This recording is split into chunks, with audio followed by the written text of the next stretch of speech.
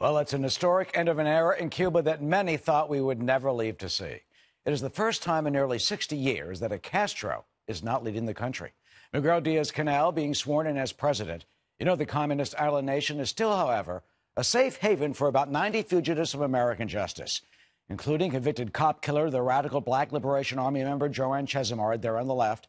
She is on the FBI most wanted terrorist list right now. And the guy on the right, Willie Morales, the FALN convicted bomb maker, well, he's seen on the right of the screen. He is on the most wanted domestic terrorist list.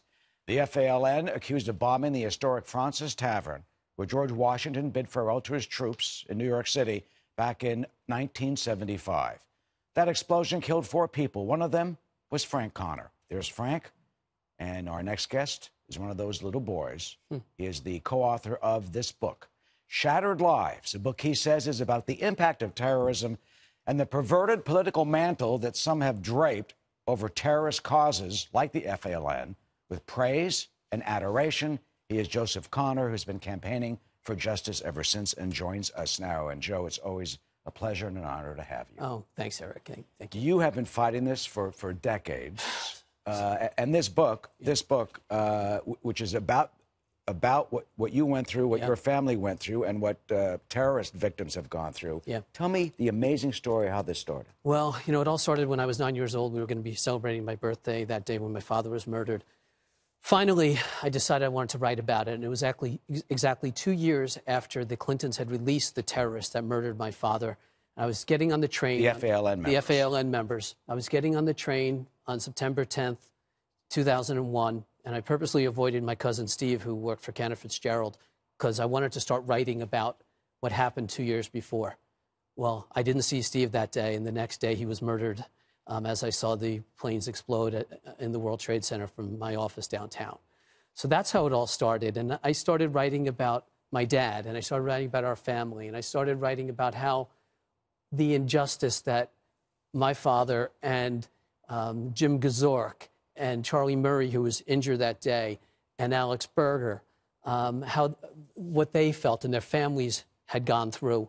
And uh, so finally, I met with Jeff Ingber, who had written a few books, his family uh, about his family's experience in the Holocaust. And uh, over the last couple of years, we put this book together, and I'm really proud of it. I think it's very do, great. Do you, it's a magnificent effort. And do you feel, though, that ter- the victims of terrorism, families such as yourself, what you've gone through, uh, every time there's something in the news, I call you do you feel that your voices are appropriately heard by our government officials? No, and and uh, you know what, what's relevant? It's so so relevant now. I mean, looking at Cuba, and we know William Morales is in Cuba, yet we are not demanding his return.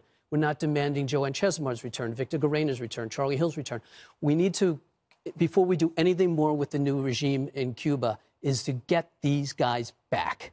They're terrorists. They've been convicted and th- there's no reason why we would deal with a with a country who harbors terrorists like Do you think it was a big mistake by the Obama administration to, to open up dip- diplomatic relations? The State Department we yeah. called, the State Department says, "Oh yeah, we're we're going to work on that." Are yeah. they working on it? Well, it's too late, right? I mean, you don't negotiation isn't capitulation, two different things. You you you don't give away the the what you have first and then expect to get something back later. So your That's message your message to President Trump would be what? Would be cut off all relations with Cuba right now get these guys back before we begin any more conversations. We, you just did a story in North Korea.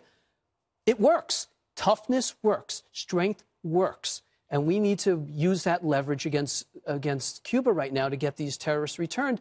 There's a ton of American tourist money, up to billions of dollars, with an $87 billion economy like Cuba, which is tiny.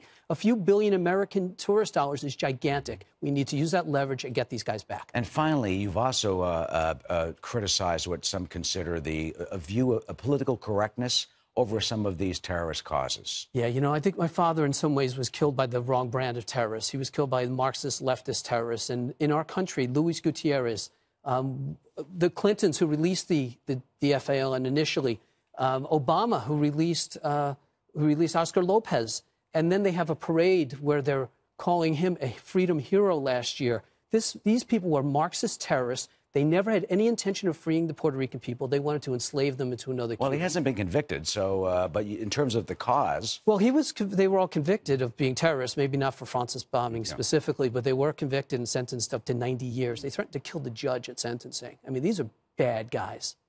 And when you see this country, or some in this country, who uh, think this is a freedom movement, Yeah, there was no freedom involved. You know, the, the Puerto Rican people have had plebiscites where last, last year 97% voted to become a state.